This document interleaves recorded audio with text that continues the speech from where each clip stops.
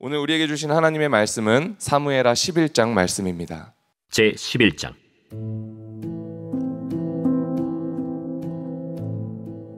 그 해가 돌아와 왕들이 출전할 때가 되매 다윗이 요압과 그에게 있는 그의 부하들과 온 이스라엘 군대를 보내니 그들이 암몬 자손을 멸하고 라빠를 에워쌌고 다윗은 예루살렘에 그대로 있더라 저녁 때에 다윗이 그의 침상에서 일어나 왕궁 옥상에서 거닐다가 그곳에서 보니 한 여인이 목욕을 하는데 심히 아름다워 보이는지라.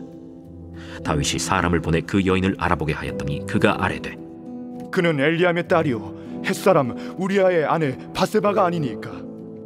다윗이 전령을 보내어 그 여자를 자기에게로 데려오게 하고 그 여자가 그 부정함을 깨끗하게 하였으므로 더불어 동침함에 그 여자가 자기 집으로 돌아가니라 그 여인이 임신함에 사람을 보내 다윗에게 말하여 이르되 내가 임신하였나이다. 다윗이 요압에게 기별하여 햇사람 우리아를 내게 보내라.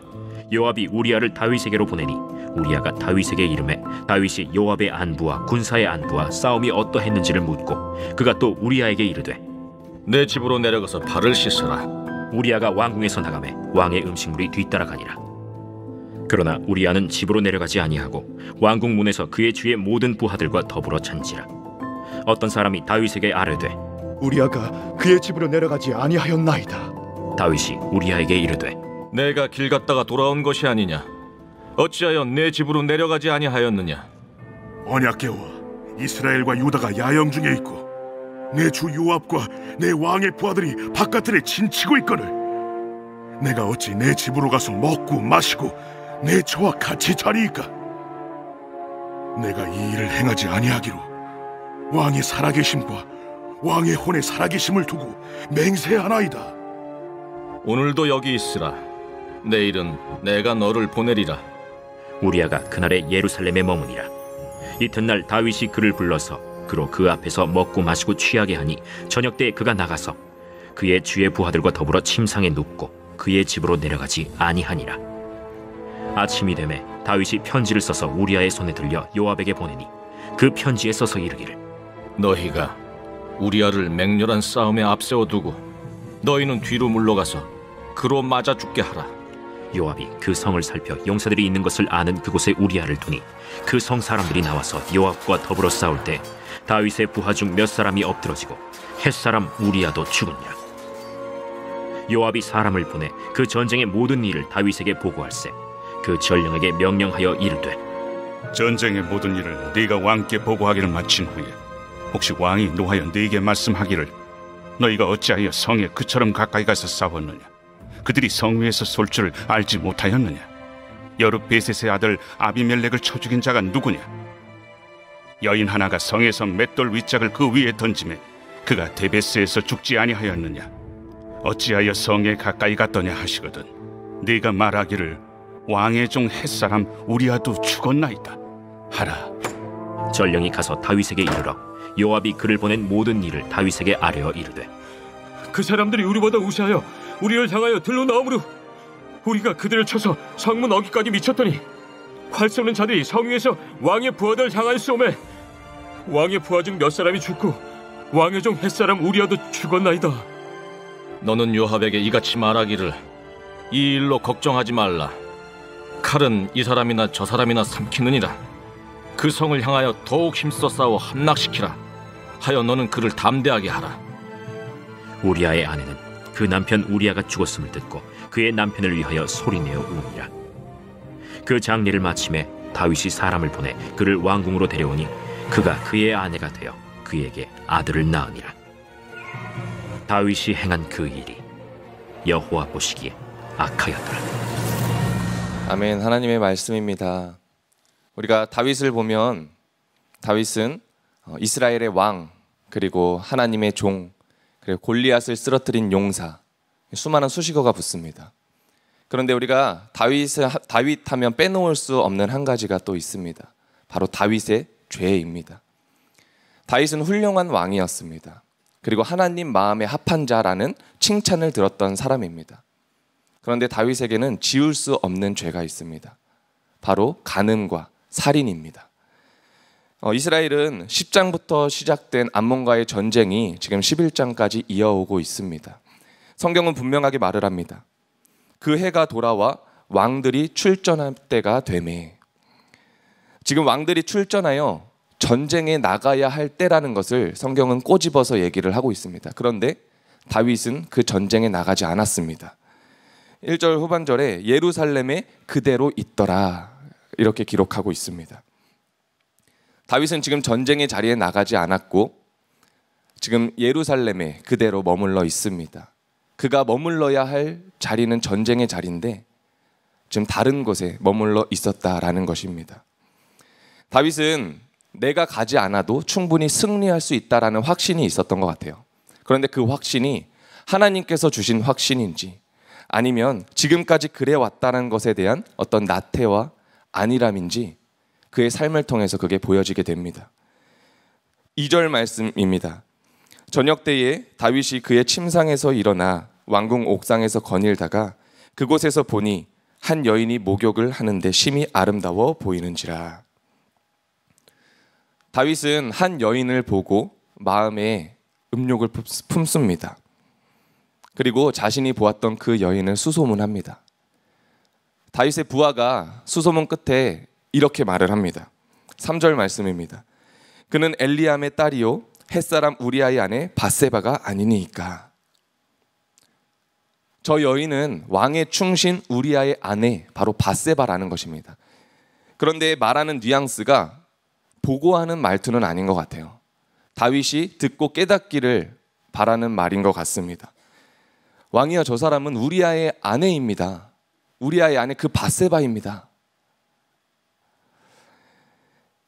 그런데 다윗은 그 악한 마음을 이기지 못합니다. 자신의 부하의 아내임을 알고 있음에도 그 악한 마음을 이기지 못하고 음욕을 이기지 못합니다. 그 아내를 불러들이고 동침했고 심지어 임신을 시켰습니다. 자, 이제 다윗이 어떻게 해야 될까요? 우리아는 전쟁터에 나가 있고 바세바는 임신이 되었습니다. 지금 하나님을 신실하게 섬겼던 그 다윗이 맞나 싶습니다. 지금까지 다윗이 쌓아왔던 모든 것이 한순간에 무너져 내릴 수 있고요.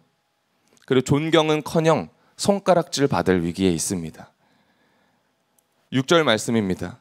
다윗이 요압에게 기별하여 햇사람 우리아를 내게 보내라 하매 요압이 우리아를 다윗에게로 보내니 다윗은 전쟁에 있던 우리아를 불러드립니다. 그리고 그에게 잔치를 베풀어 줍니다. 이제 우리아가 집에 들어가서 바세바를 만나기만 하면 이제 모든 것이 완벽하게 됩니다. 다윗은 이제 더 이상 걱정하지 않아도 됩니다. 그런데 우리아는 이렇게 말을 합니다. 11절에 이렇게 말을 하고 있습니다. 언약계와 이스라엘과 유다가 야영 중에 있고 내 주 요압과 내 왕의 부하들이 바깥들에 진치고 있거늘 내가 어찌 내 집으로 가서 먹고 마시고 내 처와 같이 자리이까 우리아는 충신입니다.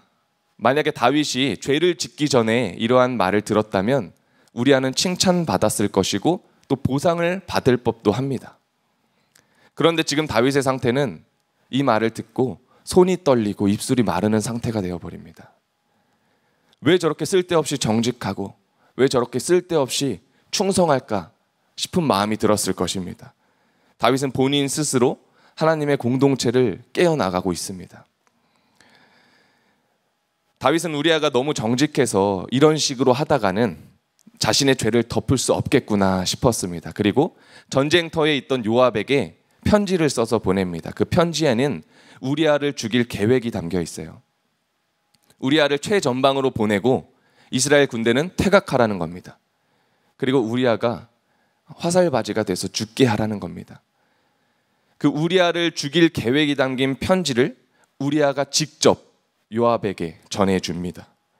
다윗은 그렇게 자신의 충신인 우리아를 차도살인해 버립니다. 사랑하는 남편이 그렇게 죽었습니다. 여러분 바세바가 어떠했을까요? 그는 지금 삶이 비극적인 삶입니다. 한순간에 모든 것이 다 사라져 버렸습니다. 바세바의 그 삶은 정말 찢어지는 고통과 아픔의 삶이었을 것입니다. 어떤 말도 할 수 없고 단지 울 수밖에 없는 삶이었을 것입니다. 26절 말씀입니다. 우리아의 아내는 그 남편 우리아가 죽었음을 듣고 그의 남편을 위하여 소리내어 우니라. 우리가 로마서를 보면 즐거워하는 자들과 함께 즐거워하고 우는 자들과 함께 울라라고 하나님이 말씀하셨습니다. 자, 바세바가 이렇게 울고 있을 때 다윗의 표정이 어떠했을지 상상해 보았습니다. 아마 그녀가 이렇게 울고 있을 때 함께 울어주지는 않았을 거예요. 다윗은 그의 계획이 이루어진 것에 대해서 만족하는 표정을 지었을 것 같습니다. 다윗은 그 장례가 끝나기만을 기다렸다가 바사바를 데리고 궁으로 들어갑니다. 누군가의 인생은 망가졌고요. 가정은 풍비박산 났습니다. 심지어 누군가는 죽임을 당했습니다.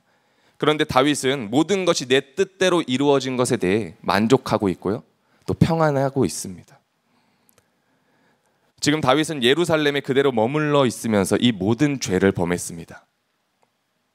그리고 하나님께서는 이 상황을 보시고 다윗을 이렇게 평가하십니다. 27절 후반절 말씀입니다. 다윗이 행한 그 일이 여호와 보시기에 악하였더라. 오늘 이 다윗을 묵상하고 또 하나님의 평가를 듣는데 노아 시대 때 하나님께서 타락한 인간들을 보시면서 말씀하셨던 것이 생각이 났습니다. 창세기 6장 5절 말씀. 여호와께서 사람의 죄악이 세상에 가득함과 그의 마음으로 생각하는 모든 계획이 항상 악할, 악할 뿐임을 보시고 다윗의 영적 세상은 지금 악함이 가득 가득 차 있습니다. 그가 보는 것, 그가 마음으로 생각하는 것, 그가 계획하는 것, 그리고 그가 행하는 모든 것이 악할 뿐입니다. 나도 모르게 죄가 죄인 줄 모르고 그 죄의 수렁에 빠져버렸습니다. 다윗의 죄가 무엇일까? 그 가능과 그 살인, 그 안에는 어떤 마음이 있었을까? 이것을 묵상하면서 어, 이전에 우리 김다희 목사님께서 설교하셨던 나태의 죄 이렇게 이기라 그 말씀을 들었습니다. 목사님께서 이렇게 말씀하셨습니다. 나태라는 것은 주님의 부르심에 열정이 없는 것입니다. 주님과 함께하는 방향이 다르다면 우리가 하는 어떠한 분주함에 있든지 주님 보시기에는 여전히 부지런하지 않을 수 있고 나태일 수 있다는 것입니다. 또한 라틴어에서 온 나테라는 단어 아케디아라는 말은 무관심이라는 뜻입니다. 나테는 행하는 죄가 아니라 무관심하여 행하지 않은 죄입니다.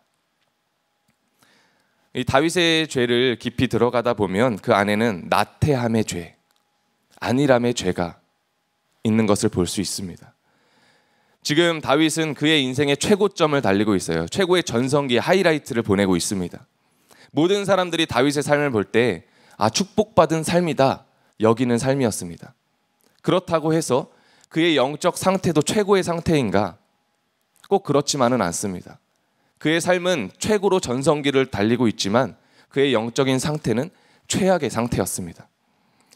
11장을 어, 보면 다윗은 주님을 향한 열정을 찾아볼 수가 없어요. 오히려 지금 나의 지위와 나의 자리에 취해 있습니다. 그렇게 죄를 행하고자 하는 열정이 남다른 것을 볼 수 있습니다. 그리고 지금 다윗은 말씀에 대해 하나님의 말씀에 대해 무관심합니다. 가늠하고 살인하는 죄를 행하는 그 이면에는 하나님의 말씀에 대한 무관심의 죄가 넘쳐나고 있습니다.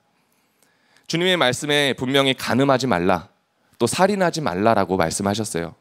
10계명에 기록해 주셨죠. 그리고 그 그것은 돌판에 기록되어 있습니다. 그 돌판이 어디 있습니까? 하나님의 궤 안에 있습니다.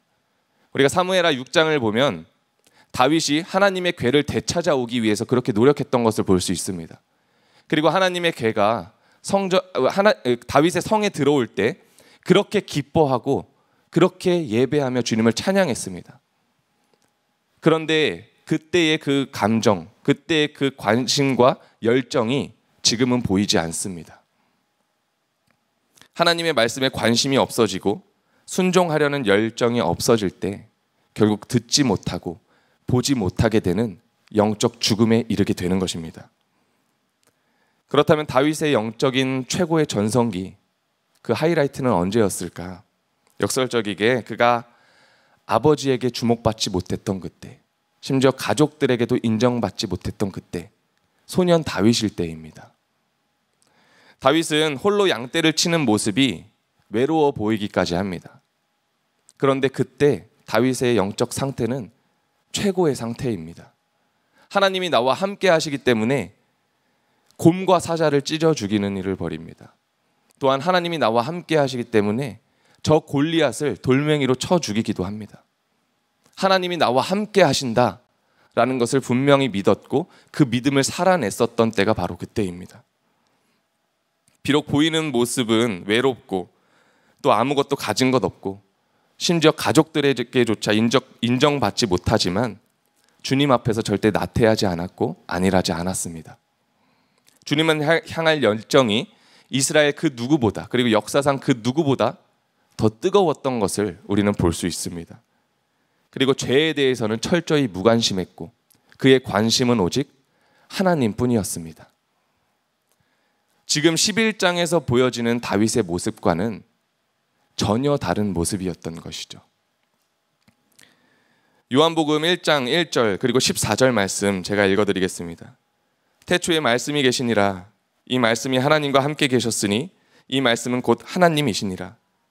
말씀이 육신이 되어 우리 가운데 거하심에 아멘. 말씀이 육신이 되어 이 땅에 오셨습니다. 바로 예수 그리스도시죠. 우리가 하나님의 말씀에 관심이 없고 열정이 없다라는 것은 그 예수님께 관심이 없고 열정이 없다라는 것입니다. 주님을 가까이 하지 않는다라는 것이고 주님 앞에 나아가지 않는다라는 것입니다. 여러분들이 지금 계신 그 자리는 어떠하십니까? 끊임없이 주님과 동행하면서 주님을 더 알아가고자 나아가고 계십니까? 아니면 주님께 나아가지 않아도 나는 평안하고 나는 만족하다. 이렇게 머물고 계십니까? 주님께 나아가는 것에는 아무런 열정도 아무런 관심도 없는 삶을 살아가고 계시진 않으십니까? 우리는 주님을 처음 믿은 그때부터 지금까지 신앙생활을 계속 해오고 있습니다. 그때의 나, 그리고 지금의 나. 여러분, 주님을 향한 그 마음이 계속해서, 그 갈망이 계속해서 깊어지고 계십니까? 우리의 신앙의 연수가 쌓이고, 교회 안에서 많은 사역을 감당할 때, 주를 향한 나의 믿음이 제자리 걸음이고, 그리고 현재에 머물러 계시다면, 나태의 죄, 안일의 안일함의 죄에 빠지고 있지는 않은지 우리는 점검해야 할 것입니다. 야고보서 4장 8절 말씀입니다. 하나님을 가까이 하라. 그리하면 너희를 가까이 하시리라. 죄인들아 손을 깨끗이 하라. 두 마음을 품는 자들아 마음을 성결하게 하라. 아멘. 여러분 다윗은 예루살렘에 그대로 머물러 있으면서 주님께 관심을 보이지 않고 죄에 빠졌습니다. 우리 또한 주님의 말씀에는 관심 없고 주님을 가까이 하지 않고 현재에 머물러 있으면서 그렇게 만족하는 삶을 살아가고 계십니까? 여러분, 주님께서 기뻐하지 않는 삶입니다. 주님은 나를 가까이 하라 말씀하셨어요. 그리하면 내가 너희를 가까이 하겠다. 분명하게 말씀하셨습니다. 주님 앞에 가까이 가는 것은 대단한 능력과 많은 재물과 뛰어난 지식으로 나아가는 것이 아닙니다. 그저 순종함입니다. 하나님의 말씀, 성경을 묵상하라 하면 그것에 순종하는 것이고요. 기도의 자리로 나아오라 하면 나아가는 것입니다. 그리고 예배 현장에서 그 은혜의 감격을 누려라. 그러면 그렇게 순종하는 것입니다. 그저 우리는 순종함이면 됩니다. 주님께서는 지금도 저와 여러분이 머물러 안주하고 있는 나태함의 자리, 안일함의 자리를 떠나라고 말씀하십니다. 그리고 주님을 향한 순종의 자리에만 머물러 있으라고 주님께서는 말씀하십니다. 오늘 이 시간 주님을 간절히 찾고 구했던 그때와는 달리 주님을 향한 나의 열정과 나의 관심이 식어지진 않았는지 우리의 믿음을 한번 점검해 보시기를 바랍니다. 그리고 다시 주님을 향한 첫사랑이 회복되어서 다시 나의 삶에 그리고 나의 믿음에 영적 부흥이 되살아나고 일어나게 되는 저와 여러분들이 되시길 축복합니다. 우리 이 시간 함께 기도하며 나아가도록 하겠습니다. 먼저 우리 회개하며 기도합시다. 주님, 주님을 믿는다 하면서도 말씀을 더 가까이 하지 않았던 죄, 주님께 나아가는 것에 관심이 없었던 그 죄를 용서하여 주시옵소서. 어느 순간 나태하고 안일함에 빠져 믿음 생활을 소홀히 했던 죄를 용서하여 주시옵소서. 이 시간 주의 보혈로 우리의 그 마음을 성결하게 하여 주옵소서. 이 시간 다 같이 주님의 이름 부르짖으며 함께 기도하며 나아갑시다. 주여 주님 이 시간 긴 간절히 기도하며 나아갑니다. 간절히 주님 앞에 회개하며 나아갑니다. 주님을 믿는다 하면서도 주님의 말씀을 가까이 하지 않았던 죄, 주님을 믿는다 하면서도 주님께 가- 나아가는 것에 관심이 없었던 나의 죄를 회개합니다. 주여 용서하여 주시옵소서. 어느 순간 나의 아버지 하나님 만족과 또한 아버지 하나님 나의 그 자리에 취해서 나태하고 안일함에 빠져 있던 나의 믿음을 주님 용서하여 주시옵소서. 그렇게 나의 믿음 생활을 소홀히 했던 나의 죄를 용서하여 주시옵소서. 이 시간 주님의 보혈로 아버지 하나님 우리를 씻어 주시고 우리의 마음을 성결케 하여 주시옵소서. 다시 주님의 아버지 하나님 보혈로 아버지 내가 믿음이 살아나고 그 첫사랑이 회복되는 시간이 되게 하여 주시옵소서. 간절히 아버지 주님 앞에 나아갑니다. 간절히 부르짖으며 나아갑니다. 회개하며 나아갑니다. 이 시간 우리를 정결케 하여 주시옵소서. 나의 죄를 보게 하여 주시옵소서. 주님 앞에 아버지 잘못했던 주님 앞에 나아가지 못했던 주님 앞에 그 열정이 식어졌던 나를 보게 하여 주시옵소서. 그렇게 믿게 닫고 나아갈 때 주님께서 반드시 회복의 역사를 부어 주실 줄로 믿습니다. 그 믿음으로 나아가오니 주님 이 시간 우리를 보- 주님의 보혈로 성결케 하여 주시옵소서. 우리 이 시간 결단하며 한 번 더 기도하며 나아갑시다.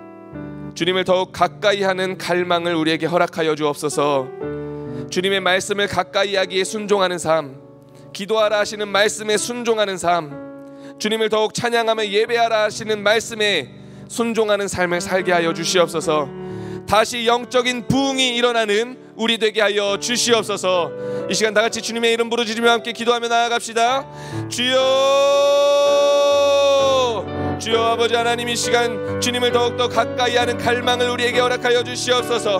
주님의 말씀을 가까이 하기에 순종하는 삶 기도하라 하시는 말씀에 순종하는 삶 주님을 더욱 찬양하며 예배하라는 말씀에 순종하는 삶을 살아가게 하여 주시옵소서.